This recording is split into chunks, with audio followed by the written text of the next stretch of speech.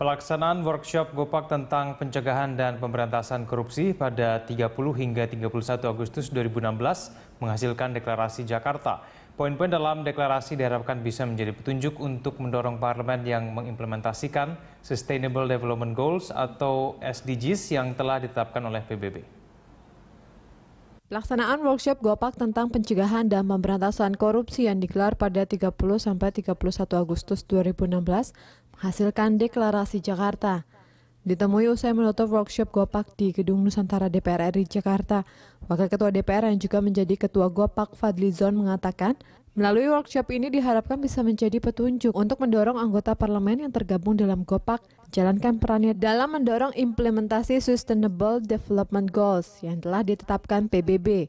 Menurut Fadlizon, sebagai bentuk tindak lanjut, DPR RI akan mensosialisasikan handbook yang dihasilkan dari workshop Gopak ini, khususnya dalam implementasi roadmap pembangunan di Indonesia. Bagaimana mengambil peran dari parlemen, anggota parlemen uh, di regional juga ya, uh, untuk uh, mendorong implementasi dari SDGs, Sustainable Development Goals yang sudah dicanangkan sejak tahun lalu di PBB. Uh, kita melihat bahwa goal dari SDGs ini adalah goals uh, atau tujuan yang sudah disepakati oleh seluruh pemimpin dunia dan saya kira ini uh, bagus, langkah-langkah yang bagus.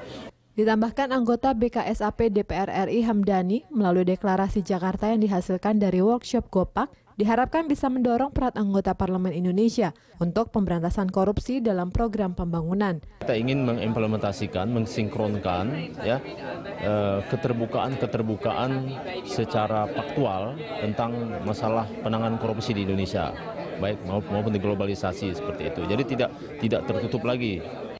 Nuki dan Bani, TVR Parlemen melaporkan.